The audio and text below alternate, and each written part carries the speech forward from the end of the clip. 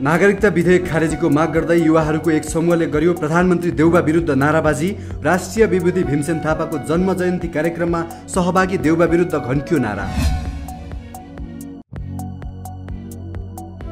नेकपा माओवादी केन्द्रका अध्यक्ष पुष्पकमल दाहाल र नेकपा एकाता राष्ट्रिय अभियानका संयोजक वामदेव गौतम बीच भेटवार्ता समाजवादी केन्द्र बनाउने विषयमा छलफल। सर्वसाधारणले आउने महिनामा मूल्य वृद्धि अझ तीव्र गतिमा बढ्ने अनुमान गरेको राष्ट्र ब्याङ्कको एक सर्वेक्षणले देखायो आउँदो तिन महिनामा मूल्य वृद्धि चौध प्रतिशतसम्म पुग्ने। सेयर बजारको परिसूचक नेप्सेले एक्काइस सय अङ्क नाग्यो सोमबार चौन्न दशमलव चार पाँच अङ्क बढेसँगै नेप्से एक्काइस सय बत्तिस अङ्कमा कायम कारोबार रकम उल्लेख्य रूपमा बढ्यो। नागरिकता विधेयक नागरिकता प्राप्तिमा खुकुलो बनाउन नल्याइएको गृहमन्त्री बालकृष्ण खाँडको दावी कसैको दबाव परामर्श र सल्लाहमा नागरिकता संशोधन ऐन नल्याइएको जिकिर। नेपालमा हरेक कुरामा परनिर्भरता बढिरहेको भन्दै सभामुख सापकोटाले गरे चिन्ता व्यक्त खरानी समेत आयात गरिनु विडम्बनापूर्ण। अबको दशक नेपाल निर्माण र नेपाल समुन्नतिको दशकको रूपमा अघि बढ्ने काङ्ग्रेस महामन्त्री विश्वप्रकाश शर्माको कथन बदलिएको काङ्ग्रेस र बलियो काङ्ग्रेस बनाएर सबैलाई समेटिने।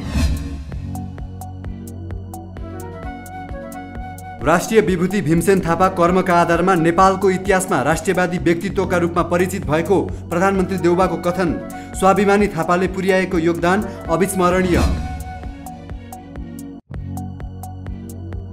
नेपाल प्रहरीको केन्द्रीय प्रहरी विधि विज्ञान प्रयोगशालाले सिसिटिभी फुटेजको रिपोर्ट संसदीय विशेष छानबिन समितिलाई बुझायो।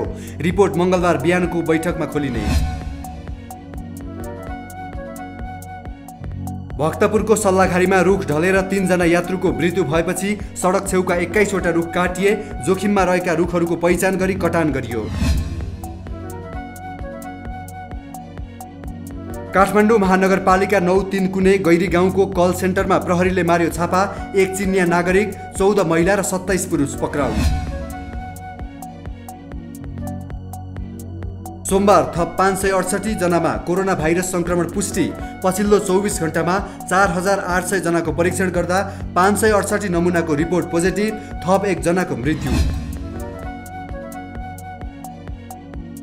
कोरोना भाइरसको महामारी पुनः बढ्न थालेपछि कोभिड नाइन्टिन सङ्कट समन्वय केन्द्रले सिंहदरबारभित्र सुरक्षा सतर्कता अपनाउन गर्यो परिपत्र।